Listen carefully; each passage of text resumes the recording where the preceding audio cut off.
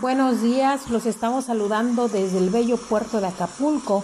Se espera que hoy toque tierra la tormenta tropical Lester en territorio mexicano entre los municipios de Copal y Coyuca de Benítez en Guerrero.